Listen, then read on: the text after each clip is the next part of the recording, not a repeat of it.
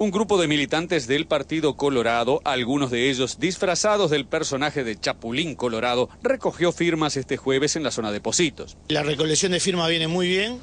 Este, hoy, antes de venir para acá, pasamos por el local de Soriano y había realmente una cantidad importante de gente este, firmando por voluntad propia y bueno, creo que es la manifestación de lo que quiere el pueblo. La semana pasada, el senador colorado Pedro Bordaberry fue calificado como chapulín colorado por el senador nacionalista Jorge Larrañaga. Bordaberry había respondido señalando que había que tomar en serio la campaña de recolección de firmas. Es el personaje ahora que está por Pedro.